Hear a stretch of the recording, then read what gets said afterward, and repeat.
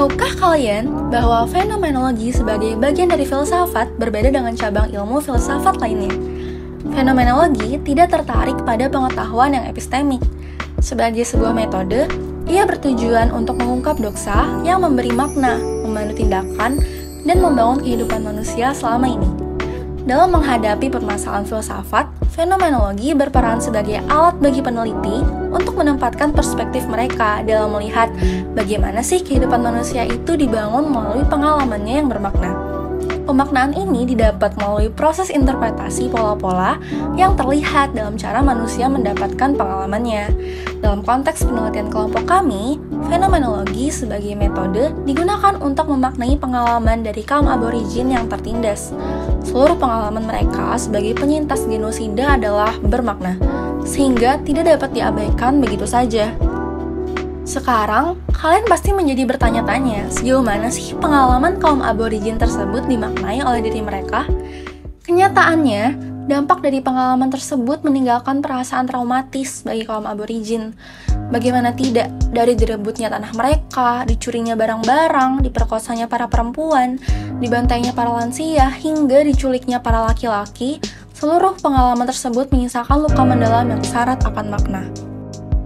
Untuk menganalisis fenomena pembantaian kaum aborigin ini, kelompok kami menggunakan teori fenomenologi dari Levinas. Emmanuel Levinas adalah seorang filsuf Prancis yang dikenal dengan karyanya dalam eksistensialisme dan fenomenologi.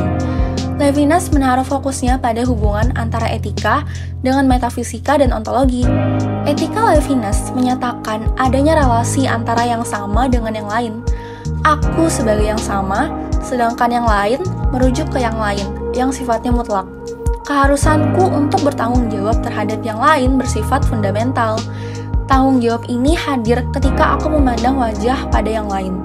Saat aku memandang wajah yang lain, muncul tanggung jawab yang terarah kepada yang lain. Tanggung jawab ini merupakan dasar dari sikap aku dan hadir terlebih dulu sebelum inisiatif aku. Dengan demikian, tanggung jawab bukan lagi berasal dari sikap altruistik, melainkan mendahului eksistensi, sebuah kewajiban yang mutlak.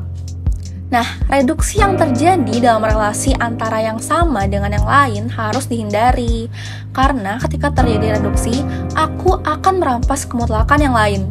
Perampasan tersebut akan membuat yang lain menjadi termaterialisasi dan tidak bermakna.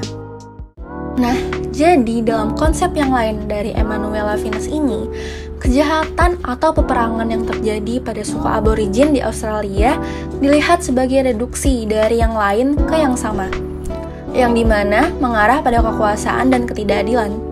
Kekerasan yang terjadi dalam kasus tersebut adalah kejahatan moral yang mengambil banyak bentuk seperti kebencian dan juga rasisme. Pembunuhan merupakan sebagai ambisi yang didorong oleh niatan untuk menghancurkan yang lain secara total. Apa yang umum dalam peristiwa pembunuhan semacam ini adalah penyangkalan terhadap yang lain.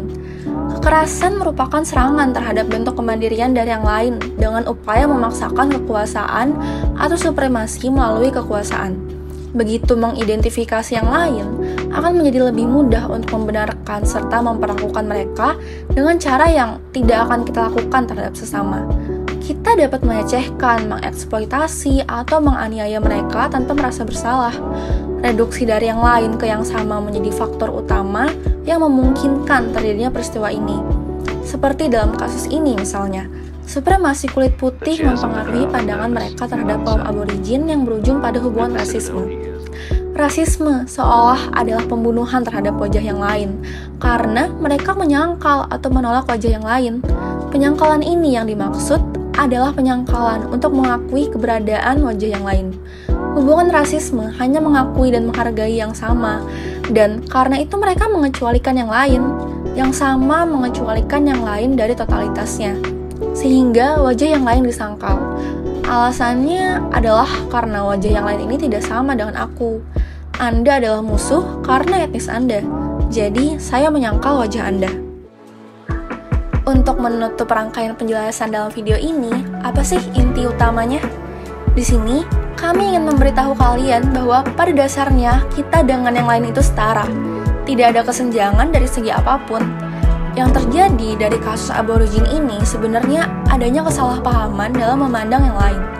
Tidak ada pembenaran dengan mengobjektifikasi, baik itu menyakiti atau memperdaya orang lain. Menjadi manusia yang bertanggung jawab merupakan sebuah kewajiban, bukanlah lagi seperti perintah atau berasal dari inisiatif diri sendiri, melainkan mendahului eksistensi kita.